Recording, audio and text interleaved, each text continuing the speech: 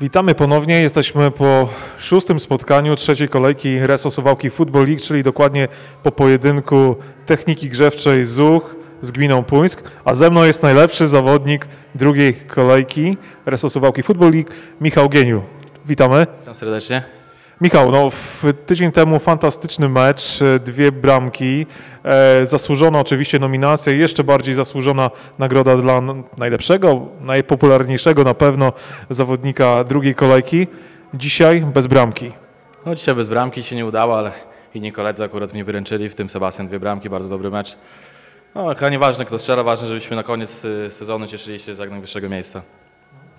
Właśnie, wspomniałeś, o, wspomniałeś Sebastiana Jankowskiego. Sebastian Jankowski to twój taki boiskowy partner, z którym e, tworzycie naprawdę taki dosyć niebezpieczny duet, prawda? No z Sebkiem już gramy parę dobrych lat, tam się dobrze rozumiemy na boisku. Głównie gra, grywamy na trawie w Polonii, ale zawsze jak na resu już czwarta edycja moja i jego i cały czas w tym samym składzie. I, i jeszcze Damian z nami od początku tutaj wszystkich ten, tak samo on jest tutaj, można powiedzieć, inicjatorem tego, żeby skleić tą drużynę pod nazwą Technika Grzewcza ZUCH. E, Słyszę jeszcze emocje po tym spotkaniu. E, cz- 4, 4, do, 2, 4 do 2.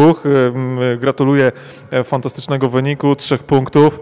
No a Łukasz Wysocki no, miał wejście smoka. Tak, Łukasz tutaj czekał, czekał już, już dwa mecze z ławki, teraz, teraz jako taki nasz snajper, mam nadzieję, że już będzie grywał więcej minut tutaj tylko w roli takiego, można powiedzieć, jokera, no ale wszedł, zrobił swoje i, i fajnie.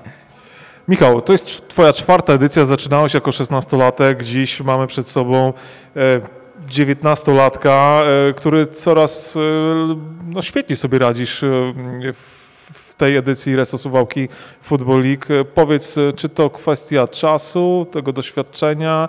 No, poprzednio grałeś w- Albatrosie, em, teraz technika grzewcza ZUCH. Jakby tworzysz e, tę drużynę ze swoimi e, no, kolegami z, z poprzedniej drużyny.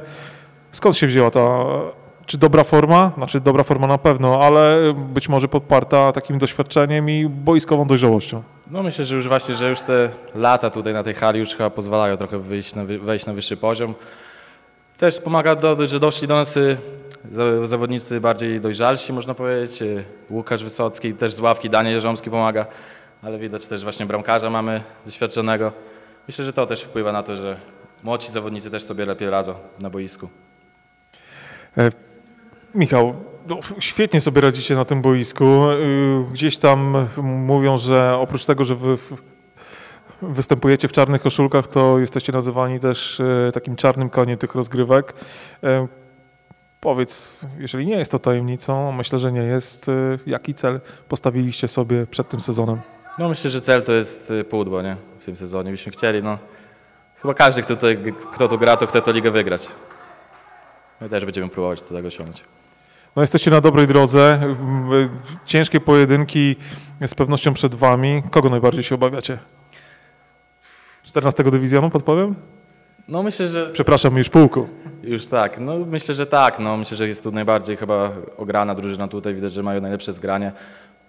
Myślę, że ciągle trzymają równy poziom, ale Jagoland też tutaj widać, że młode chłopaki pokazuje, że ale też i Szkarnulis z Sein, tak? Nie ma tu, mi się wydaje, słabych drużyn. Tu każdy, każdy z każdym może wygrać tę lidze. No właśnie, podczas naszej rozmowy zaznaczyłem, że to jest twoja czwarta edycja. Jakbyś pokusił się o takie porównanie tych poprzednich z tą edycją, w której ten poziom jest najwyższy? W tej? Myślę, że tak, myślę, że w tej, myślę, że z roku na rok to wchodziło na coraz wyższy poziom i no i w końcu mamy tak, myślę, że nie wiem, no spłaszczona tabelą, że nie jest, ale spłaszczony poziom, nie? Że myślę, że tu każdy jeszcze każdemu może punkty odebrać. No właśnie, bo jesteśmy w trakcie trzeciej kolejki. Jakby ciężko wskazać jednego faworyta. Tutaj naprawdę kilka drużyn, które zresztą wymieniłaś, e, mogą walczyć o, o miano tej najlepszej, a wśród nich jeszcze raz przypomnę technika grzewcza ZUCH. Tak, no tak jak mówię, no tu będzie do ostatniej kolejki myślę, że będzie był. Jeszcze bym nie skreślał gminy Suwałki, rok temu wicemistrz. Myślę, że oni też tutaj jeszcze mogą namieszać dużo. Okej, Michał, e, w- nie jest tajemnicą, że na co dzień grasz w Polonii Raczki. E, Jakbyś miał określić e, udział w, tej, w tych rozgrywkach? Jest to taki element przygotowania, utrzymania dobrej formy, e, bo jakby na, na boisku trawiastym prezentujesz się równie dobrze.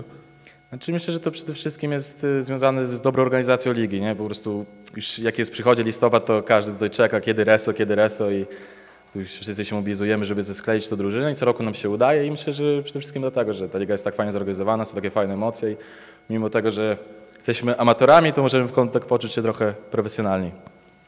E, dziękuję w imieniu organizatora. E, a jak, gdzie preferujesz grę? Na trawie, na, na parkiecie? Znaczy myślę, że nie jestem już zbytnio takim zawodnikiem technicznym, więc wolę chyba jednak trawę, nie? gdzie można sobie trochę wyrzucić tą piłkę i pobiegać, nie? No ale na hali też jest fajnie. Jak oglądasz grę zawodników z innych drużyn i gdybyś miał pokusić się o no, wskazanie takiej grupy trzech zawodników, którzy będą pretendentami do tytułu najlepszego zawodnika, e, to na pierwszym miejscu z pewnością będzie to e, Michał Geniul, a dwóch pozostałych? Nie, no myślę, że E, Okej, okay, Michał, to zdajmy z ciebie ten ciężar. Powiedzmy, najlepsi zawodnicy młodego pokolenia. Michał Gieniul. Nie, no myślę, że, myślę, że Sebastian Kowski na pewno naszej drużyny będzie tu się kusił o statuetkę. Paweł Stasiński, myślę. Hmm. Kurde, tu trzeciego, tu jakiegoś takiego. Adrian Wayman, myślę jeszcze. Jeśli by, bo dzisiaj nie grał, nie wiem, czy będzie kontynuował grę, ale myślę, że on cały czas trzyma równy poziom i tutaj będzie się dobrze prezentował. Michał, no, wymieniłeś trzech zawodników. Najlepszego bramkarza myślę, że Kamil Szczecina tutaj bezapelacyjnie będzie walczył i myślę, że mam nadzieję, że zdobędzie to statuetkę. Już kiedyś zdobył.